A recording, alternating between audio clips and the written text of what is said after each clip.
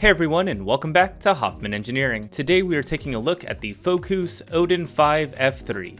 This foldable 3D printer is Fokoos's first printer and aims to position itself as a beloved entry-level model. So how does it unfold? Let's find out. Before we begin, the Odin 5 F3 was sent to me for review by Fokoos. They aren't paying me for this review, and everything I say is my own honest opinion after using this printer for the last month. Now let's get into it. The Fokoos Odin 5 F3 is a filament-based 3D printer with a max print volume of 235mm by 235mm by 250mm. It has a very clean design, with flat ribbon cables bringing power to the x-axis and hot end. The hot end is a 0.4mm volcano-style hot end, with a longer heat zone allowing for more time for the filament to melt. That generally allows for faster prints. The hot end is fed 1.75mm filament from the direct drive extruder located right above it. The extruder also has a built-in filament detector, which will pause the prints if you run out of filament. Completing the hot end assembly is the single cooling fan. The fan works great, but when running at 100%, it has a rather loud high-pitched whine. Lowering the speed to 98% eliminates that high-pitched noise, so I'd recommend setting that in your slicer. All axes move on V-slot rubber wheels on the aluminum extrusions of the frame. The x-axis is supported by dual z-axis motors. This is a very stable arrangement, and I have noticed zero z-wobble on any of my test prints. Moving down to the print bed, we find a glass build plate that clips onto the heated surface, and is supported by easy-to-use leveling screws on the four corners. This is one of the better glass build plates that I've used. PLA grips it quite well while printing, but prints also pop right off as it cools down. It is also very flat, I could consistently print over the entire surface. On the front of the base is the 3.5 inch touchscreen display. The touchscreen works well, but I feel the menu options are a little unintuitive. After using it for a while, I still find myself trying to remember where I need to go to change the filaments. There's three different options. Auto load on the main screen, then filament and extrusion in the tool screen. But autoload and extrusion only work if the nozzle is already heated, and it will grind the extruder gears if you press it while cold. The display can show you a preview of the object to be printed if you use Cura and install the MKS extension. That will save a thumbnail into the G-code. Around the side of the base you can find the micro SD card slot and the USB Type-B port to connect to your computer or Raspberry Pi. And around the back is the power cord and switch. The bottom can be removed to reveal the MakerBase MKS Robin Nano 1.2 control board. That is a 32-bit control board with TMC 2208 stepper drivers and runs a version of Marlin 2 firmware. The stepper drivers are near silent, and with the fan at 98%, it is very comfortable to be in the same room while printing. The Odin 5 arrives in a very appealing box that you'd expect to see on the shelves of your local big box store. Great design and presentation. Opening the box reveals the folded printer. Assembly should be simply a matter of unfolding the X and Z gantry, screwing in the four screws, and plugging in the two ribbon cables. Extremely easy. However, in my case it was not that easy. As I was peeling off the plastic from the bed, I noticed that the bed lifted. It turns out that the bearings holding the bed on were sliding out of the wheels. That shouldn't happen. So I reached out and they sent me their Fokoos Odin 5 accessory kit. This $30 kit contains spare wheels, two extra hot end assemblies, extra filament detector, and ribbon cables. Reading other reviews and forum posts, Fokoos has some quality control issues, and this accessory kit is a necessity for all owners.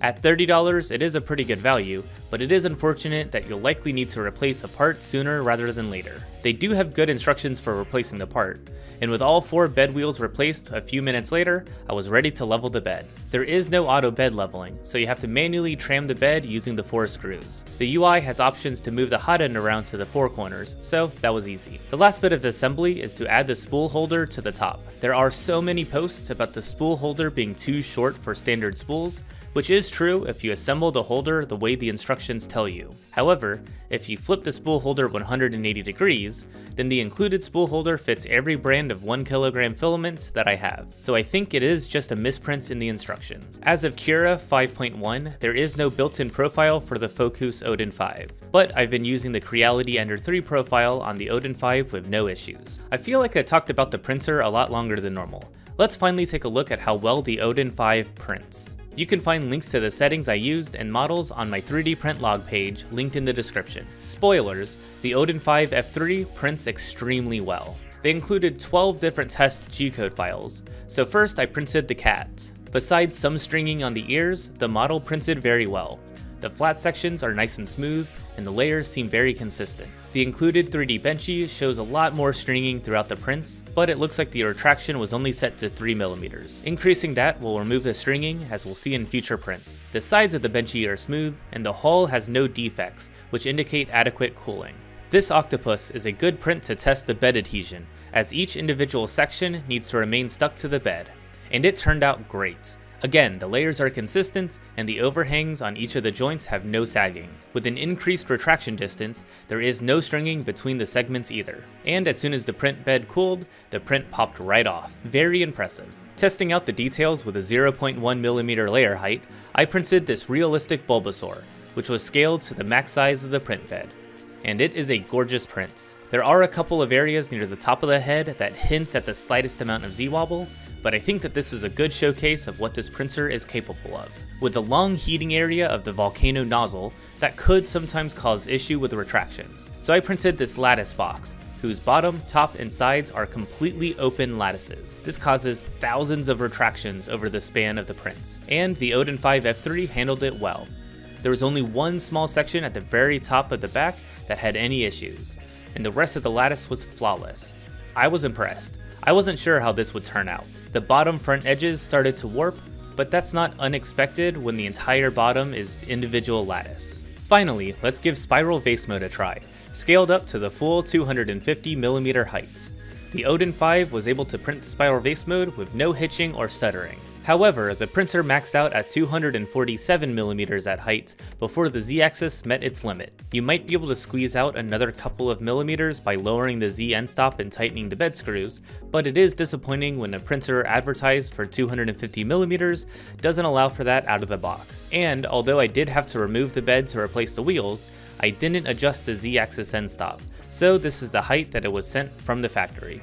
The Odin 5 F3 has a filament runout sensor, which will pause the prints and give an audible beeping if it detects missing filament. You can easily use the menus to load in new filaments, and it resumes where it left off. Although the moving back to position is extremely slow. And although they don't advertise it, the Odin 5 also has power loss recovery. I was pleasantly surprised to see it ask to resume the print after I powered it off, and it heated back up and resumed without issue.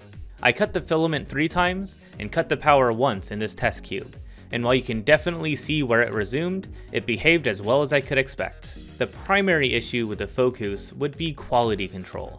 For a new company entering the 3D printing market, some might expect some rough edges. The issue I ran into was easily fixed with a couple of replacement parts. I am happy to see that their accessories kit is only $30, and the company seems responsive for support issues. Their Facebook group is also probably one of the most active 3D printer groups that I've been a part of, so that is encouraging to see. Other users have reported clogged nozzles, but the accessories kit includes two full replacement hot ends, and after a couple hundred hours of printing, I haven't experienced that issue myself. The other negatives I've already touched on. The cooling fan has a high-pitched whine when at 100% speed, but dropping it down to 98% eliminates that noise. And finally, the UI of the control panel can be a little confusing but neither of these are showstoppers. In conclusion, I found the Fokoos Odin 5 F3 very easy to work with. My prints turned out great, and I'm impressed with how well the glass bed performed. It has a stylish presentation, from the showy box it arrived in to the elegant ribbon cables. The foldable term is more for marketing than being beneficial in practice, as I can't see anyone folding the printer back up to transport it. But it is an interesting solution to the initial assembly. The dual Z-axis makes for a stable print, and combined with the direct drive volcano nozzle, you can push out some serious prints. If Fokoos can resolve the quality control issues, I'm excited to see what the future holds for the brand. Fokoos's website has the Odin 5 F3 listed for 289 US dollars. That positions the Fokoos solidly in the pack of entry-level printers with a 235mm bed size. If you are thinking of picking one up, I'd highly encourage getting the $30 accessories kit, just in case. So thank you all for watching my review of the Fokoos Odin 5 F3. Let me know what you think about the Fokoos in the comments below. Be sure to subscribe so you don't miss out on any of my future review videos. My studio is currently packed with new printers just waiting for me to finish their reviews. So, thank you all for watching, I'll see you all next time.